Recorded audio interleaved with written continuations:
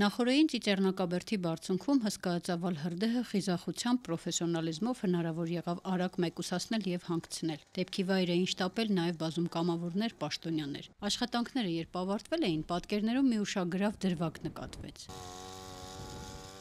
Կրթության ու գիտության նախարարն ու դիմացով անցնող մրոտված երիտասարդներ։ Վերջիններս մեծ խմբով շտապել էին դեպքի վայր ու փորձում էին օգնել հանգցնել կրակը։ Նրանցից շատերը Արայիկ Հարությունյանին անձնապես չէին ճանաչում, բայց շատ լավ գիտեն մեկ-մեկու։ Դեռ մի քանի ամիս առաջ էր, որ այս երիտասարդները Դաշնակցության երիտասարդության միության անդամները հանուն հայագիտության առարկաների բուհական ծրագրերում պահպանման նստացույցերով ու բողոքի տարբեր գործողություններով շփաթներով կրթության ու գիտության նախարարության դիմաց էին։ Արայիկ Հարությունյանն էլ իրեն թույլ էր տվել քաղաքական պահանջներ ներկայացնող այս երիտասարդներին անվանել անդաստիարակ։ Նրանց խաղաղ գործողությունները հանդիպեցին ոստիկանության բիրտ գործողությունների, երբ մեծաքանակ ուժեր կենտրոնացրեցին կրթության նախարարության դիմաց ու շատերին բերման ենթարկեցին։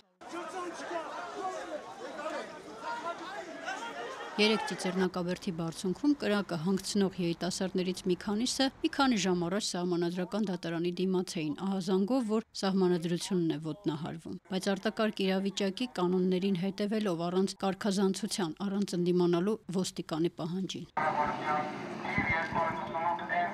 Նույն այդ կրակի դեմ կռիվ տվող տղաներից էր Արգիշտի Գևորքյանը, որ Դաշնակցության Հայաստանի երիտասարդական միության ատենապետն է։ Մեկ օր առաջ ուշ երեկոյան համանդրական դատանի դիմաց ահազանգ հնչեցնող խմբում էր։ Սա արդեն 88-89 падգամավորին պատկանող կամ անձամբ Նիկոլ Փաշինյանին պատկանող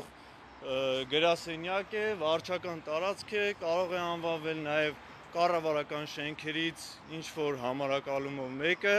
Համավարակի այս մի քանի ամիսներին այդ երիտասարդները հակառակ իրենց համար առողջական բոլոր վտանգներին Հայաստանի տարբեր մարզերում են, օգնության ձեռք են մեկնում իրենց հայրենակիցներին։ Դաշնակցության Հայաստանի երիտասարդական ուսանողական միությունները աշխարի տարբեր անկյունների իրենց երիտասարդ ընկերների աջակցությամբ միասին կհաղթենք կարգախոսով կազմակերպված դրամահավաքով հասցրել են օգնել Հայաստանի 2000-ից ավելի ընտանիքների։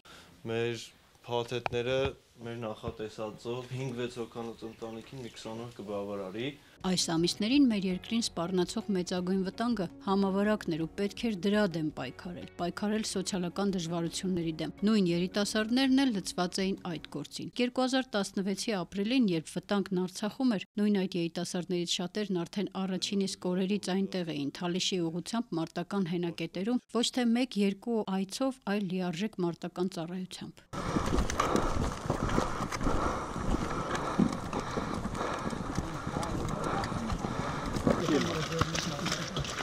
2016-ի այդ օրերին նրանք դժվար թե պատկերացնեին, որ 2020 թվականի հունիսի 26-ին Ծիծեռնակաբերդի բարձունքում օգնելու են Մարել Հրդեհ ու հանդիպելու են կրթության նախարարին, բայց այս անգամ չէին բացականչելու հրաժարականի պահանջ։ Նրանք զբաղված էին ավելի կարևոր գործով։ Լիլիթ Մանուկյան, Երկիրն այսօր։